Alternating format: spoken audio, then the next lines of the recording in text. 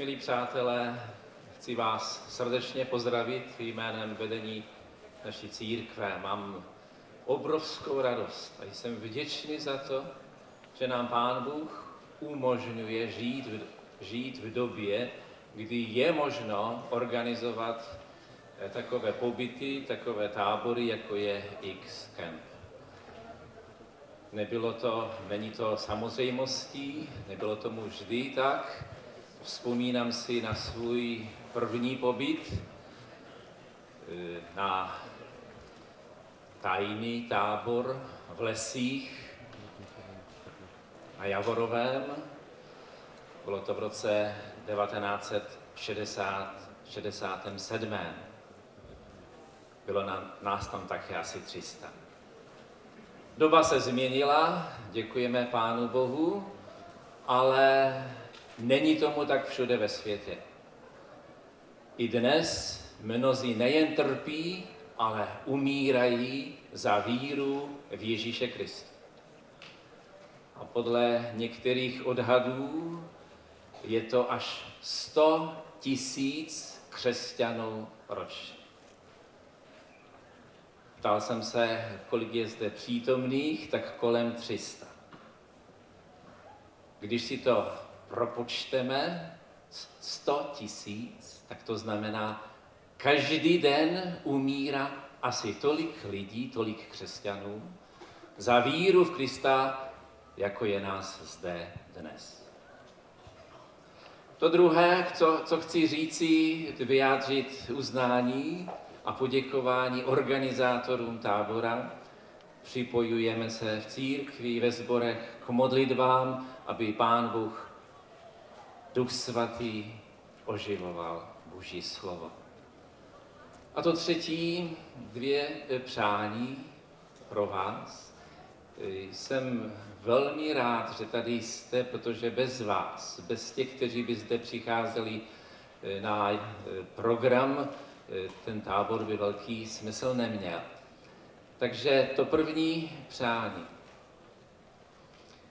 je skvělé, je úžasné a je to projev Boží milosti, když můžeme slyšet evangelium, zprávu, dobrou zprávu o věčné záchraně.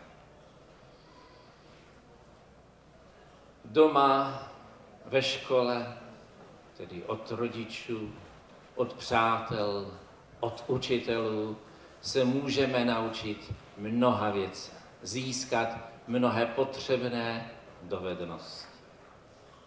Ale kdybychom neslyšeli o Kristu, kdybychom neslyšeli evangelium, tak přijdeme o to nejdůležitější a budeme jako ti výletníci na lodi Titanic. Byli tam i mnozí zaměstnanci. Dělali skvěle svou práci, měli skvělé dovednosti jako kuchaři, čišnici. Ale nakonec mnozí zemřeli, utonuli. Věčné zahynutí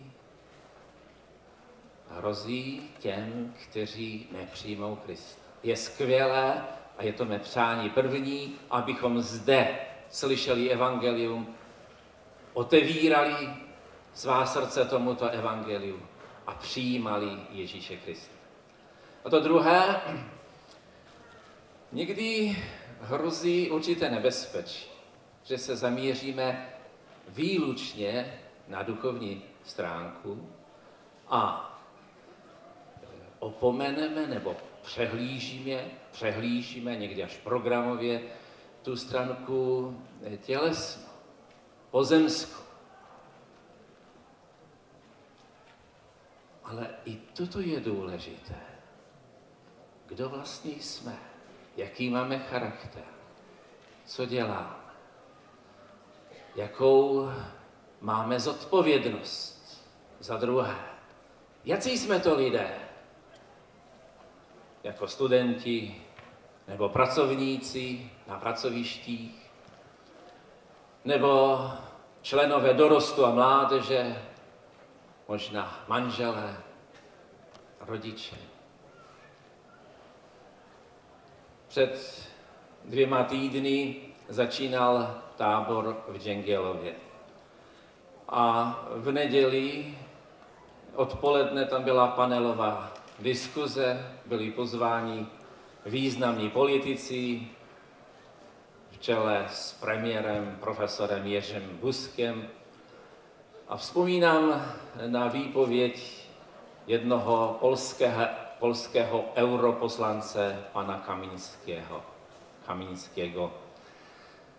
A ten přirovnal právě to, když se výlučně zaměříme jen na věci duchovní a přehlížíme ty pozemské k pilotovi, který má řídit letadlo a teď za ním někdo přijde do kokpitu a tak zkoumá, ptá se, bude to let bezpečný?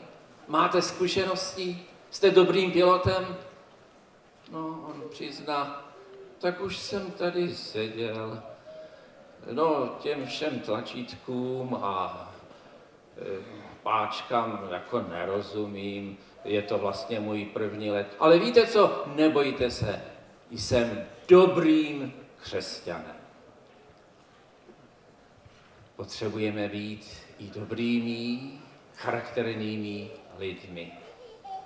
Protože jen tak můžeme vydávat to dobré svědectví jiným o Kristu. Má, máme být těmito svědky. A sám Pán Ježíš říká, tak ať světí světlo vaše před lidmi, aby skutky vaše dobré viděli a slávili Otce, který je nebesích. Takže to druhé přání, abychom neopomíjeli to, jaký jsme lidé a dokazovali že můžeme být těmi, kteří jsou příkladem, kteří jsou svědectvím. Pán Bůh vám žehnej.